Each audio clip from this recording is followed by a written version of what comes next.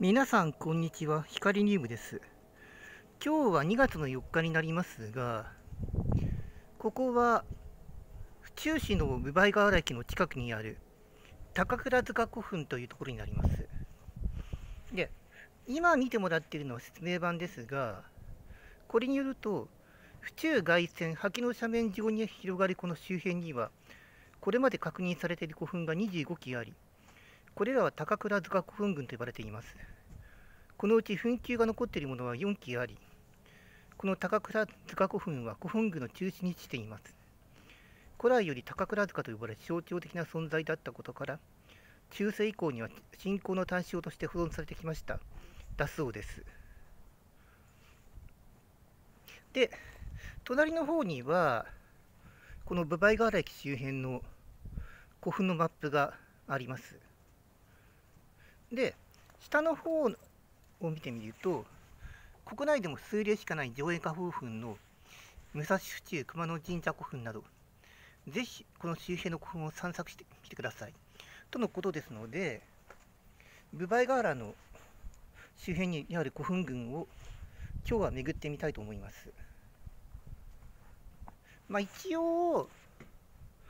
左側のマップのうち赤くしてあるところに墳丘がありますよってことですね。で、ブバイガーラの周辺が終わったら西駅西府駅の方に移動して西府駅の古墳を2つ録画しておきたいと思います。で、今見てもらってるのが高倉塚古墳の前景ということになりますが、周辺を見てもらうとここは住宅街です。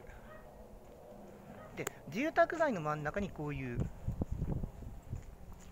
墳丘なる古墳が保存されているということで。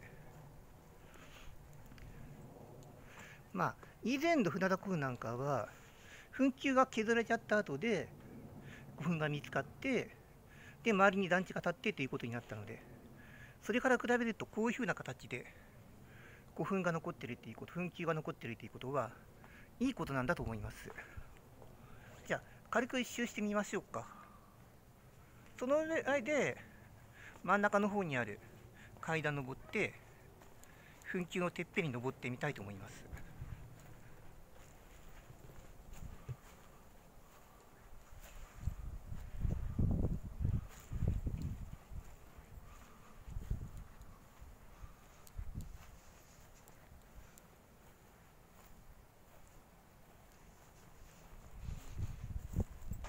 今日はなんか雲が出てますね。噴気のてっぺんには木がニョキニョキ生えてるだけです。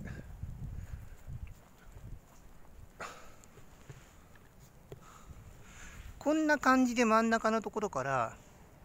噴気のてっぺんに向けて階段が走あります。すぐ脇には京王線の線路が走ってます。ズバイガラは JR 南武線と京王線が交差する駅なので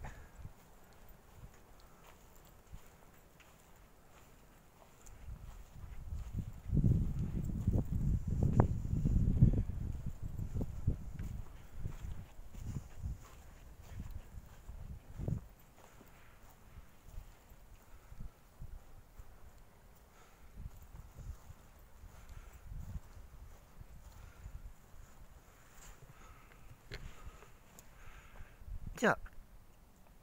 階段登って噴気のてっぺんにまで行きましょ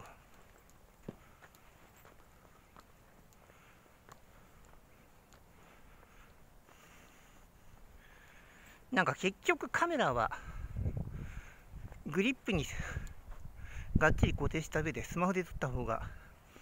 いいような感じなので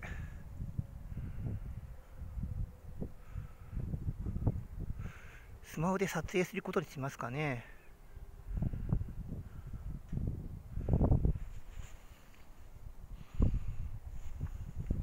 まあ、とりあえずこの古墳はこんな感じですかね。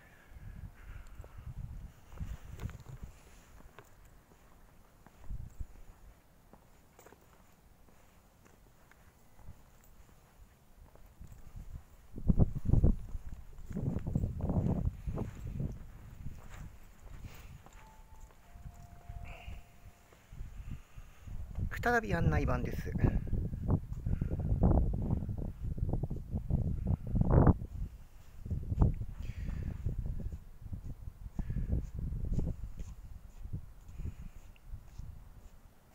一応古墳巡りコースっていうのが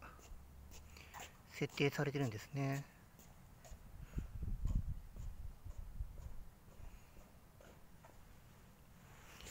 まあ赤い点線があってその赤い点線が古墳巡りコースっていうことになるんでしょうがとりあえずこの動画はこの辺で終わりにしたいと思います。以上高倉塚古墳より光ニムがお送りしました。